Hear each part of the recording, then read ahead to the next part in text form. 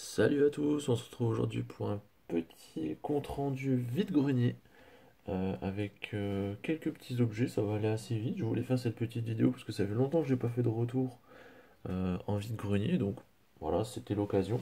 On commence déjà avec un petit accessoire plutôt sympa, je connaissais pas du tout. En fait, c'est les micros SingStar, mais en sans fil. Donc en fait, c'est par Bluetooth avec une petite station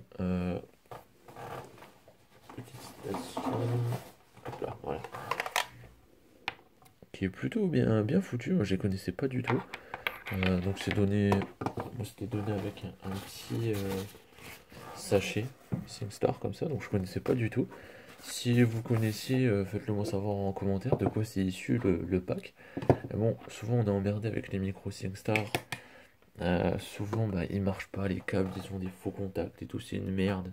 Ça, a gros soucis de fabrication sur le micro SingStar. Je trouve qu'ils sont pas de qualité super bien. Voilà, donc là, sans fil, bah, moi, ça, m'arrangeait bien. Donc, j'ai payé ça avec un petit jeu PS3, 5 euros. Pour vous dire, euh, c'était vraiment un très bon prix. J'enchaîne justement avec le petit jeu PS3 que j'ai vu dans le lot. C'est le Grand Turismo 6. Euh, j'ai joué beaucoup au 5. bien sûr, les épisodes PS1, très connus, super bon. On a un peu tous grandi avec, euh, avec ces épisodes-là. J'avais joué au 5, je le trouvais plutôt, plutôt sympa.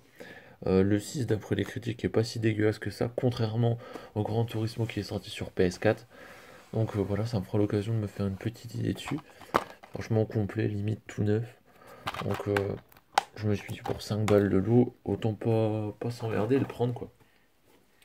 On enchaîne avec un petit jeu GameCube plutôt sympa de le trouver aussi pour le prix. Ben voilà, hein, on se fait pas, on se fait pas prix, on le prend. C'est le Knight of the Temple Infernal Crusade. Euh, donc c'est un petit jeu d'action aventure. J'ai l'impression d'un peu dans médiéval. Donc euh, même au Moyen Âge. Euh, donc franchement, à essayer. Je connais pas du tout. Je l'ai déjà vu une paire de fois. C'est sorti multi multi support ce truc là. donc à voir. Enfin complet. Voilà pour deux balles trouver du GameCube, c'est assez rare pour moi. Donc voilà, je me suis dit un petit jeu qui rentre de plus dans la collection. Pour 2 euros, c'est pas, c'est pas grand chose. Donc autant l'essayer. Ensuite, un petit jeu 3D. Celui-là, je suis assez content de le trouver parce que ben, j'adore la série.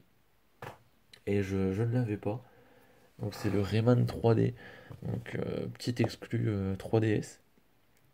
Euh, franchement, je suis assez content de le trouver.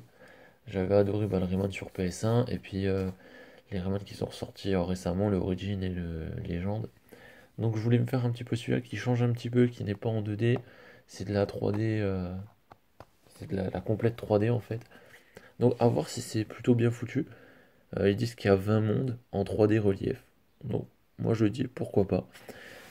ça a l'air d'être un, un, petit jeu tout à fait, tout à fait sympa qu'on ne voit pas si souvent que ça. En tout cas moi je le vois très rarement. On avait entendu parler déjà il y a un petit moment. Je me suis à l'occasion, quand je le trouve, ben, je sauterai dessus. Et c'est l'occasion pour 5 euros. Voilà quoi, je, je me suis pas fait prier. Hein, ça vaut pas non plus des, des 100 et des 1000. D'ailleurs, petit aparté, euh, beaucoup de gens ont pas aimé le Rayman Rush sur PS1. Moi, c'est un des jeux PS1 que j'ai vraiment adoré, que j'ai énormément joué quand j'étais petit. Voilà, petit aparté, mais franchement, ça, ça mérite d'être souligné, c'est quand même plutôt sympa. Et le dernier jeu, c'est un jeu PS4. Celui-là aussi, je voulais me le trouver depuis un petit moment. Il vaut pas non plus des 100 et des 1000, mais là, je l'ai eu euh, vraiment pour pas cher. C'est le Far Cry Primal. Euh, non, je sais, le Far Cry 6 euh, ou 5. 5 est sorti. mais moi, ça m'intéresse pas vraiment, je vous dis honnêtement. Justement, celui-là m'intéressait parce que c'est vraiment différent des autres Far Cry. J'ai joué beaucoup au 3. le 4, j'ai jamais essayé. Celui-là me tentait vraiment, donc je suis quand même assez content de l'avoir trouvé pour 6 balles. Ça se trouve aux alentours de 10 euros normalement, c'est ce qu'il coûte en gros à l'heure actuelle. Je crois qu'il est sorti il y a 2 ans, hein, si je dis pas de conneries. 2016, ouais. Il est sorti déjà il y a 2 ans, donc pour 10 balles, un petit jeu PS4, euh, voilà. On se laisse tenter quoi. Nickel, super état, pas de problème. Voilà, ça aussi j'ai trouvé ça, il était peut-être 10h30, euh, quelque chose comme ça quoi. Donc voilà, je suis quand même assez content de l'avoir trouvé. Et contrairement au Far Cry euh, donc 5, beaucoup de gens euh, l'attendaient tout ça, moi il me tente pas du tout. J'achèterai peut-être quand il sera vraiment pas cher, mais pour l'instant je suis vraiment pas tenté du tout. Bon voilà ce qui conclut un peu ce retour vide-grenier, comme vous voyez pas beaucoup d'objets, mais bon des petits trucs moi qui me font bien plaisir à rentrer dans la collection.